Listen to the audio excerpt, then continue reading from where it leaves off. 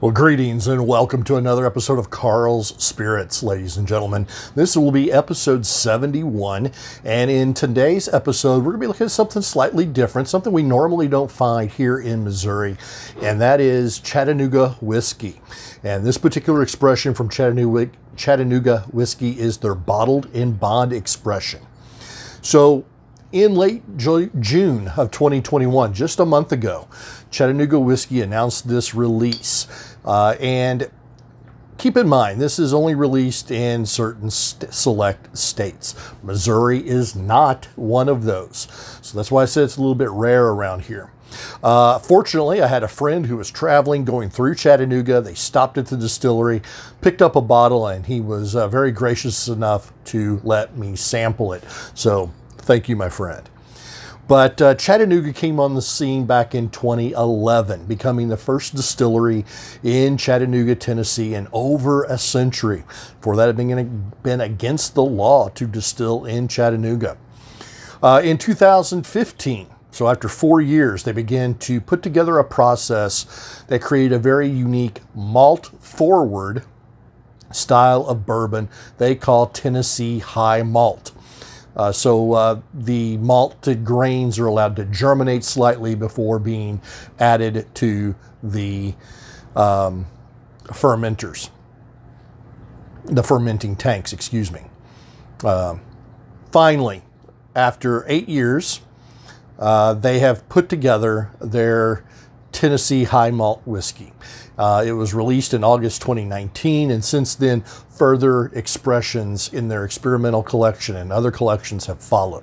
So, this is their newest release. Again, uh, as of this recording here in July of 2021, this is only about a month old. And I've explained what a bottled in bond is in a previous uh, several episodes, but uh, it may be time for a very quick refresher. So, to be labeled as a bottled in bond, the bourbon must, number one, it must be the product of one distillation season. And so this is uh, labeled as spring 21, right there, if it'll focus for you. Uh, two, it must be the product from one distiller, so only one person has their hands on the controls. Uh, three, it must be the product of one distillery. So you can't get uh, source bourbon from different distillers, mix it together and call it a bottled and bond. It all must come from the same place, the same person at the same time. Finally, it must be aged in a federally bonded warehouse for a minimum of four years. And the fifth and final requirement for bottled and bond is that it must be bottled at exactly 100 proof. So Chattanooga Bottled in Bond meets all of those requirements. But then it goes several steps further to ensure its originality. So what do I mean by that? Well, first of all, they use a selection of four unique high malt mash bills. They're all made within the same distilling season, so at the same time.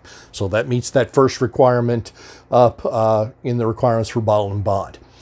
Each is comprised of at least 25% specially malted grain.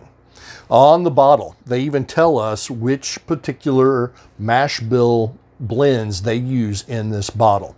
And again, I don't know if the camera will focus, but you can see right here, uh, it will tell you that they are going to use uh, B001 at 17%, B004 at 17%, B005 at 33%, and SB055 at 33%.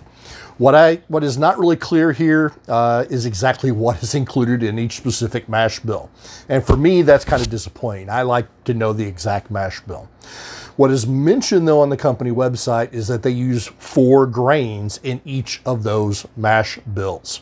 They use the same four but in different proportions to get different flavors. They use a yellow corn, they use a malted rye, they use a caramel malt, and they use a honey malt. Okay, so you're following along so far. So we have all the bottled and bond requirements. Now we're using four different mash bills with the same four grain. Okay? So now we're going to take it a step further. Half the batch that comes out of the vat is going to be barreled in a seasoned wooden barrel uh, with a number four heavy char. That's going to give it a lot of your traditional bourbon flavors. The other half is going to be uh, is going to be slow toasted for 30 minutes to really bring out those uh, vanilla tannins and so forth before being charred to a number three char. So then they are then aged for four years. Then those both pat batches of barrels are then going to be dumped in a Solera vat, which never runs dry. And so we've got those two different things now barreled or blended together, if you will. It's going to be in a Solera vat, so this means it's a continuous run. Every uh, after in each bottling run, they are going to dump another eight to 12 barrels on top. Everything's continually blended and mixed. So there's a lot to process there. And that's before we even taste the thing. So Chattanooga is doing a lot of incredibly complex and different techniques to really set themselves apart from other uh, craft distillers uh, that are popping up around the nation. So uh, let's actually get into this bottled in bond and see how it tastes, because that's really what you're here for. So first of all, nice little bottle, nice big original real cork. uh, the mash bill on this is not disclosed. As I just went through, it's a blend of four different mash bills with four grains and malts. Uh, you have that yellow corn, that malted rye, the caramel malt, the honey malt. Uh, all of that is in each of the four blends that were put into this bottle. Uh, age, it is at least four years old to be a bottled in bond. Uh, from the website, it says it's it says it's at least four years, so I imagine it's four years and a few months, if I had to guess. And it is bottled at the required 100 proof.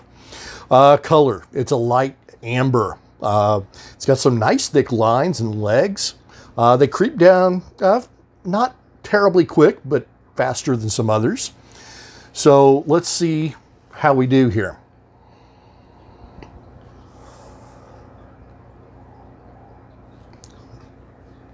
So first off, I get a nose of smoky, fruity honey. Okay, now maybe the honey thing is a suggestion from one of those four ingredients, but I really get a lot of honey on the nose. There's also a lot of smoky notes here as well. Uh, at the end, really deep in that flavor, there's a rye spiciness, kind of a sweetened, spicy cinnamon, if you will. So the light, the front is actually a very light scented uh, with that smoky honey. And then it really comes on heavier with that sweet and spicy cinnamon, uh, heavier scent.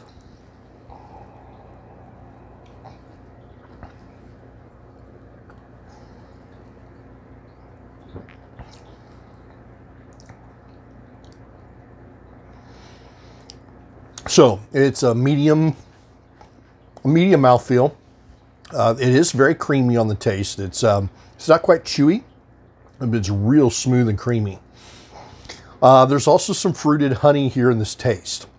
Now I keep saying fruit, fruited honey. Uh, I'm not quite sure what fruit taste I'm getting. Uh, like, I, like you know, I've tasted this before I went on camera to be thinking about what I want to say. And I'm not quite sure what fruit taste I'm picking up. It's not a heavy citrus. Um, it's not a dark fruit but it's it's a fruit note that I'm not quite sure what it is. It's noticeable, but I can't quite identify it.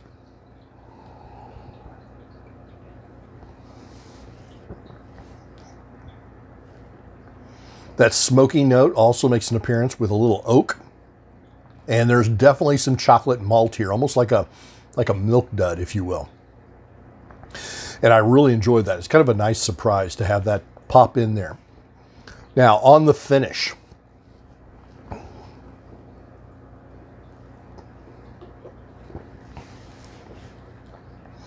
The finish is not especially long, but it is very satisfying.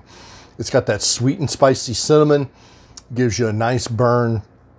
There's also a little, I'm going to call it black tea uh, note, uh, kind of a an oiliness of a black tea, if you will, the, the, the tart black tea taste. It's kind of there right on the very back of the palate for me. So overall, really quick here. guys, Chattanooga's put a lot of effort into this bottle, and I can really appreciate uh, the complexity and the skill it took to blend this particular expression. Uh, I do wish they were a little bit more clear on the exact mash bill. And I do wish it were more widely available, although, to be fair, it's only been out a month. It's only available in four or five states, and I would imagine over time that would change. Uh, I think price is a little prohibitive at $50. I'm not saying they're not charging what it's worth, but uh, MSRP is around $50. That seems to kind of be the standard for craft bourbons at the moment. Um, but it's a little, little steep, I think, for what's actually here in the bottle. Uh, finally, for me, the fruit is a little too forward. That unidentifiable fruit that I can't quite um, put my nose on, or my taste buds for that matter. On the positive side, it's incredibly easy to drink 100 proof bourbon. Uh, it does have some really great flavors for me. I love that smoky chocolate and honey. Uh, among them, I really enjoy uh, that flavor mix, that honey, chocolate, smoke. Uh, that's something that's very enjoyable for me, not so much with the fruits. So on the Karl scale, where are we going to wind up? I'm going to go 3.75 Karl stars. That's 3.75. Uh, it's a good, easy to drink bottled and bond bourbon. But those unidentifiable fruit notes uh, just don't do it for me. And I do enjoy that smoky honey chocolate, but the fruit, the cost, I'm not sure the whole process that they went through to get this particular bottle is necessarily what we get in the bottle. If you understand what I mean.